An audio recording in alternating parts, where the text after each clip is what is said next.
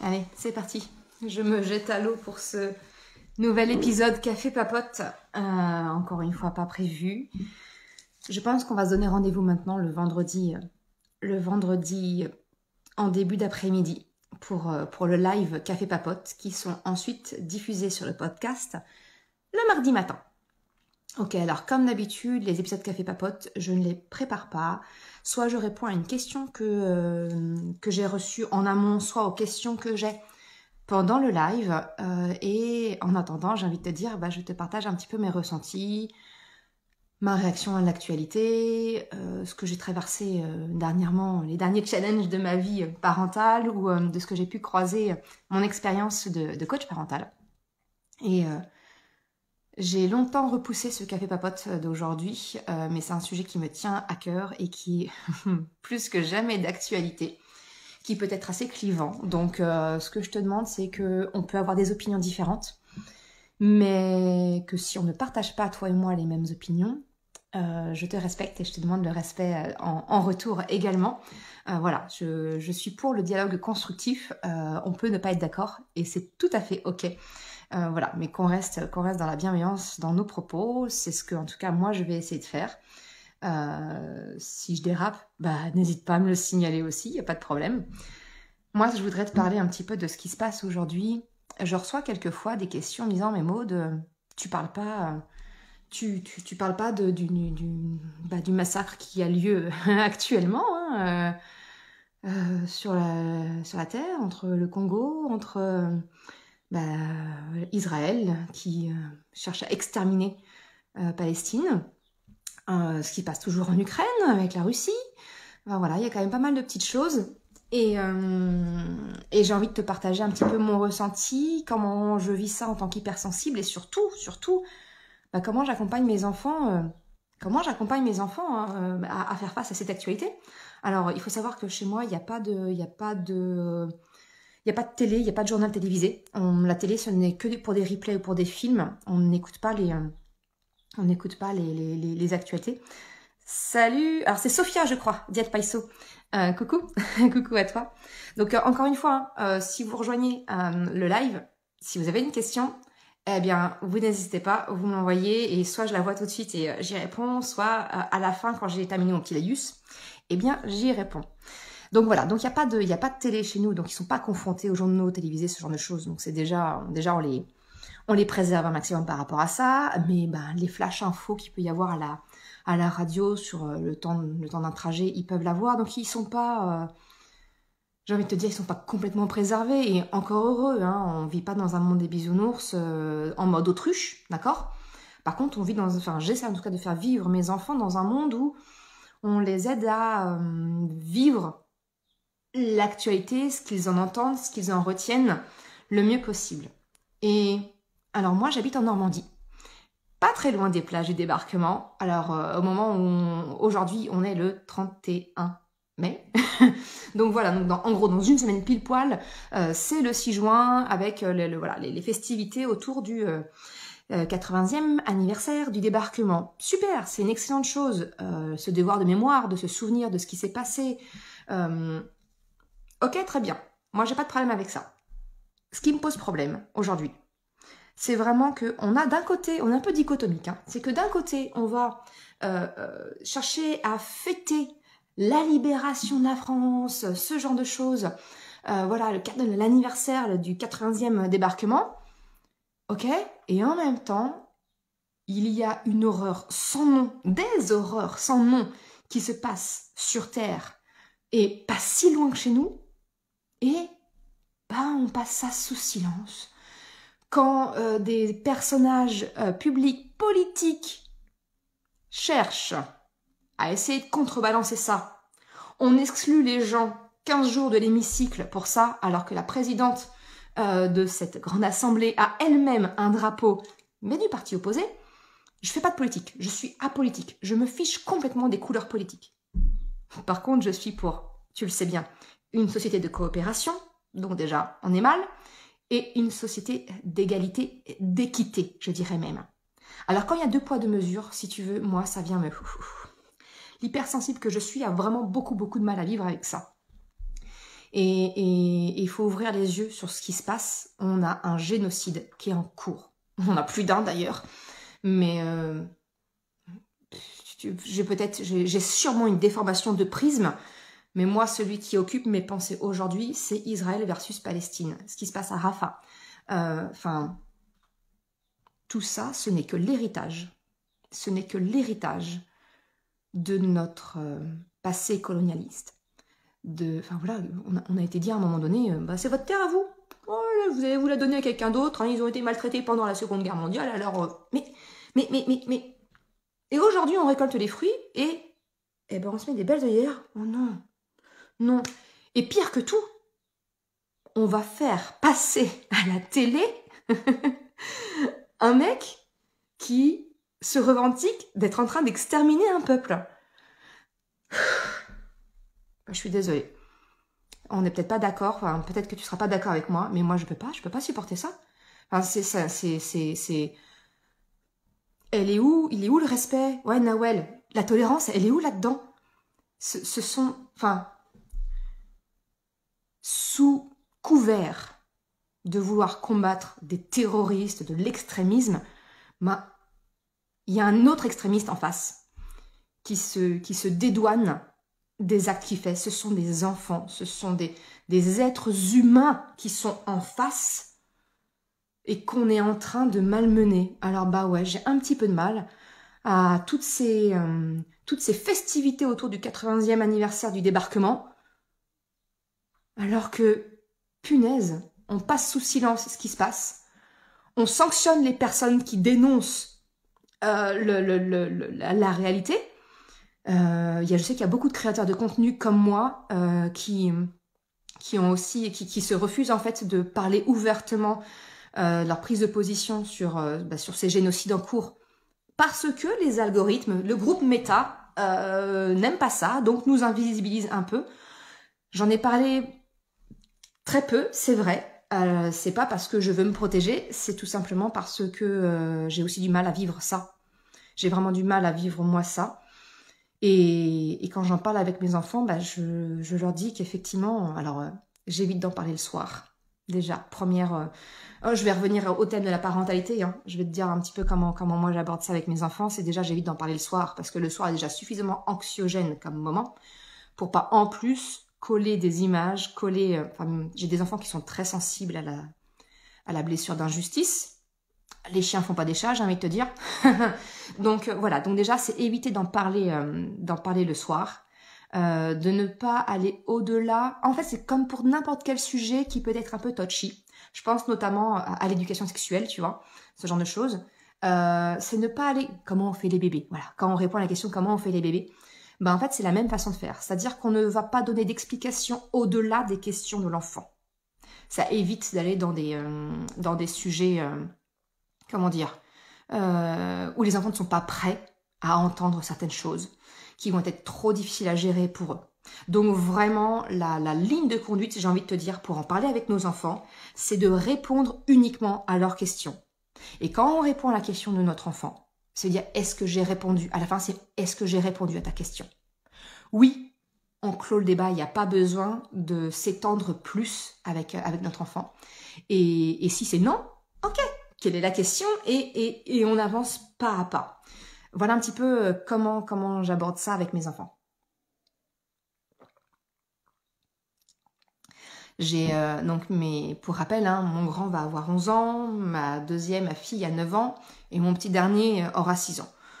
Alors mon dernier, 6 ans, ça lui passe au-dessus. Si tu veux, euh, même ce qu'il entend à la radio, c'est comme de la musique pour lui. Donc il va pas, en tout cas mon fils, moi, n'est pas dans la compréhension de ce qui se passe. Par contre mes deux grands, bien entendu surtout mon grand qui, euh, qui apprend ce qui s'est passé euh, Première et Seconde Guerre mondiale. Hein, c'est au programme du DCM, des classes CM. Euh, il, enfin, adore. C'est pas qu'il aime la guerre, par contre, tous enfants, ils sont quand même attirés par ça, mais il a un attrait particulier, donc il cherche un petit peu à comprendre. Et aussi objectivement possible, j'essaye de lui expliquer ce qui se passe. Mais en fait, quand on est objectif, ben, il faut bien se rendre compte que ce sont des génocides qui sont en train de se passer. Ce n'est pas, ce n'est pas être antisémite que, alors là je dis le gros mot, attention, je risque de me faire euh, squeezer ma vidéo, mais c'est pas grave, je le dis.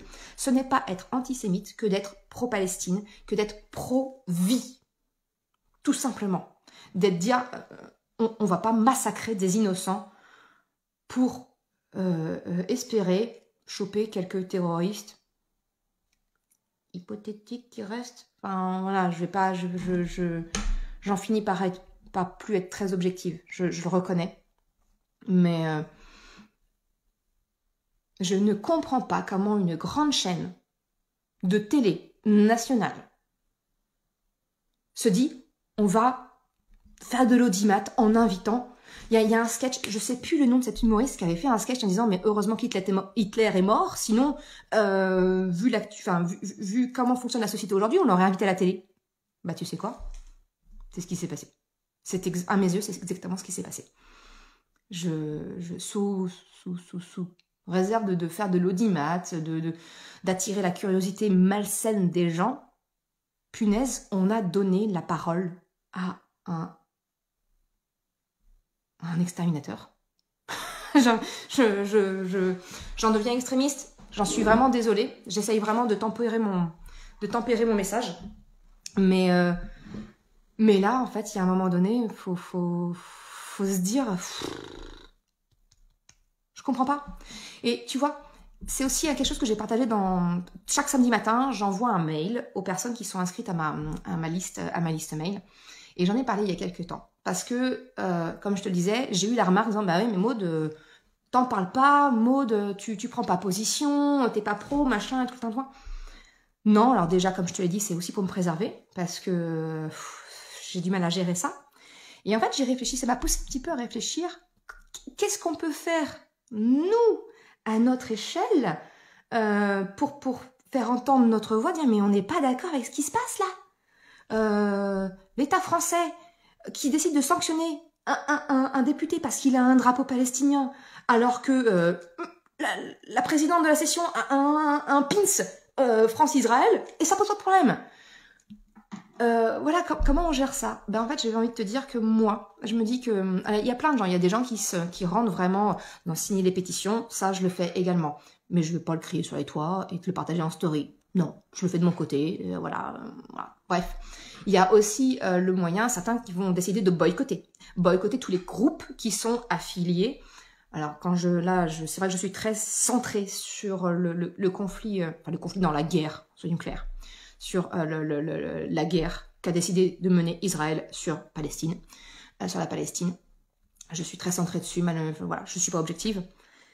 Mais il y a donc il y a des personnes qui vont cibler pour boycotter euh, toutes les entreprises qui sont affiliées de près ou de loin à Israël pour couper finalement l'afflux financier, le support financier que peut avoir Israël. je pense notamment à une personne, alors j'ai pas son nom, mais que j'aime bien. Enfin, je, j'aime le scrap et c'est quelqu'un qui fait beaucoup de scrap et euh, voilà qui disait bah, elle a arrêté son abonnement Netflix parce que Netflix est affilié, euh, voilà, est en, est en, lien avec Israël. Donc il y a aussi ce genre d'action. Moi, tu vois, à mon tout petit niveau, et peut-être que toi tu te dis mais moi, euh, bah, je suis maman, je suis papa, qu'est-ce que qu'est-ce que tu veux que je fasse à mon niveau? Bah, j'ai envie de te dire que tu fais quelque chose à ton niveau et tu t'en rends même pas compte. Et en tout cas, c'est ce que moi je fais, c'est que bah, j'éduque mes enfants dans la bienveillance, dans le respect, dans la tolérance. Je leur apprends à bien vivre leurs émotions, à bien les exprimer, à rentrer, à comprendre que c'est une relation de coopération qu'on doit avoir avec l'autre et pas une relation de domination, soumission. Et ça, pour moi, c'est proactif pour éviter les guerres, quelles qu'elles soient que ce soit les guerres au sein de ton foyer euh, entre toi et ton enfant, que ce soit les guerres de l'école avec les camarades, et puis en grandissant, bah, que ce soit les guerres des petits managers qui se prennent pour des petits chefs et qui aiment bien écraser leur personnel, ou qui deviennent des dirigeants et qui deviennent des politiciens, et qui bah, décident arbitrairement d'imposer des sanctions contre des personnes qui juste disent tout haut ce qu'une bonne partie de la population pense. Euh, voilà. Donc tu vois, le fait de vouloir éduquer ton enfant dans le respect, dans la bienveillance, avec des choix en conscience pour créer une relation de coopération, bah, c'est aussi, à mon sens, une façon d'œuvrer pour la paix de demain. Alors ouais, effectivement, c'est pas ça qui va changer la face du monde, de la guerre actuelle, du génocide, des génocides actuels. Je suis d'accord. Je, je, et j'en suis la première désolée parce que c'est ce qui fait que j'ai du mal à vivre la situation actuelle. Mais, mais je crois à demain. Je veux croire à demain. Donc euh, vraiment, je suis vraiment désolée. Je te parle euh, aujourd'hui, j'ai, euh, j'ai un discours émotionné.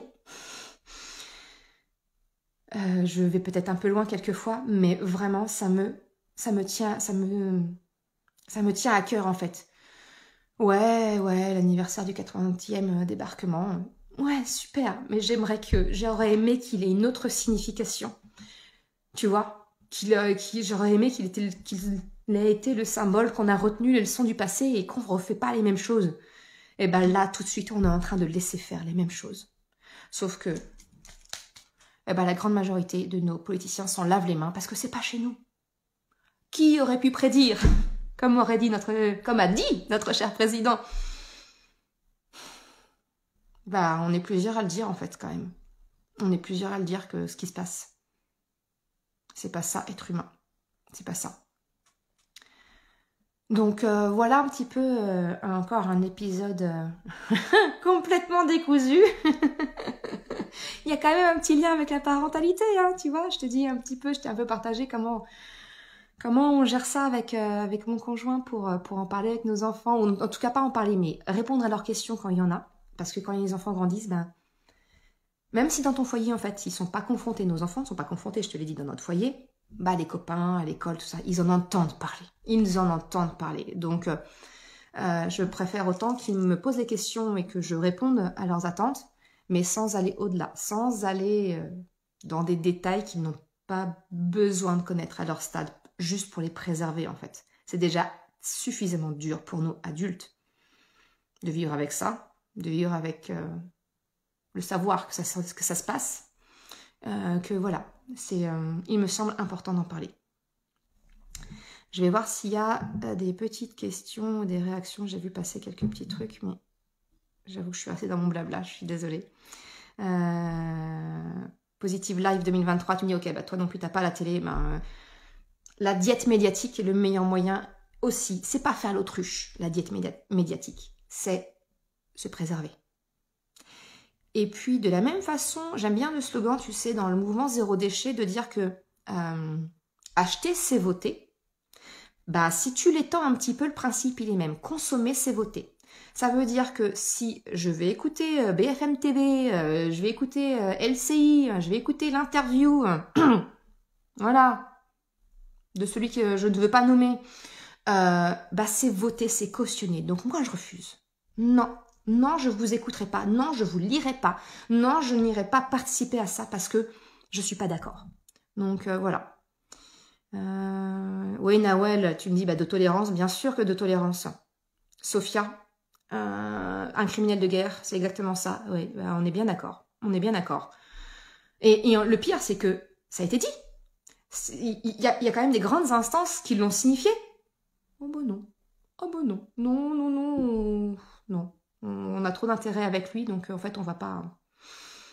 On va regarder midi à notre porte, hein, et puis euh, on, va surtout pas se mouiller pour pas se fâcher avec le copain euh, qui nous apporte des, trucs sympas. C'est exactement dans la même chose que d'une cour de récré, tu sais, où il y a un, harceleur qui va embêter quelqu'un. Il y a d'autres enfants qui le voient. Eh bien, ils vont pas intervenir bah, pour pas être la cible en retour, préfèrent être du bon, du bon côté, celui du plus fort, hein, euh, pour pas pour pas devenir une potentielle cible derrière. Mais tout ça c'est cautionné en fait. Tout ça c'est accepté. Bah on en est dans le même cas de figure. Ouais, Sophia, tu dis que tu fais moins 70% en vue sur tes stories euh, parce que parce que tu parles. Mais bien sûr, bah, le groupe Meta euh, invisibilise tous ceux qui osent parler des conflits actuels. Bah ouais. donc effectivement, je mais c'est pas pour autant qu'on va se taire. Effectivement, j'en parle pas ouvertement, comme je l'ai dit. C'est pas pour éviter de perdre des vues, parce que là je le fais aujourd'hui et je sais très bien que ça va pas plaire, et bah tant pis. Je le fais parce que c'est pour me protéger moi aussi. Hein. Euh, c'est vraiment ça. Donc rester, Sophia, tu dis donc rester informé, oui, mais pas non plus regarder des choses qui vont nous faire rentrer dans une spirale anxiogène. Bah exactement. bah, j'ai été au courant hein, de cette interview. Donc de toute façon, une diète médiatique, ça veut pas dire qu'on euh, qu'on fait l'autruche et qu'on évite toutes les informations. Les capitales, elles nous, arrivent sans, souci, sans problème. Mais c'est effectivement un bon moyen de, se, protéger, de ne pas rentrer de ce que tu appelles la spirale anxiogène. C'est exactement ça. Et c'est valable pour euh, les guerres actuelles, c'est valable pour l'éco-anxiété, c'est valable pour tout. Donc euh, vraiment, c'est vraiment la même chose. Nawel, tu dis ce sont juste des enfants dans des corps d'adultes. Malheureusement, ces gens-là n'ont pas réglé leur trauma d'enfance. En tout cas, bravo pour ta prise de parole. Bah écoute, je sais pas, bravo, non, je mérite pas de bravo, mais la dette dysménatique, c'est se préserver. Non, je ne dis pas de bravo, c'est juste, enfin, voilà, il y a un moment donné aussi, il faut, faut, faut, je voulais saisir l'opportunité du 80e anniversaire parce que pour moi, il aurait pu être un super symbole. Et euh, bah, aujourd'hui, non. Aujourd'hui, ça ne l'est pas. Je, n'irai pas. J'habite la région, je te dis, j'habite juste à côté des plages de débarquement. Donc je pourrais participer aux festivités. Non. Non. Vraiment pas dans le contexte actuel. Vraiment pas. Vraiment pas. Bon, bref, tu comprends pourquoi les émotions, ça me tient tellement à cœur. voilà, voilà un petit peu ce que je voulais te partager euh, aujourd'hui dans ce, dans ce café papote. Euh, on en discute encore une fois avec, euh, avec grand plaisir en, en message privé, en mail, enfin voilà, comme, comme tu le désires. Sur ce, je, si je vois pas d'autres questions, eh bien, je te souhaite une excellente après-midi, un très beau week-end autant que possible, et à très bientôt. Ciao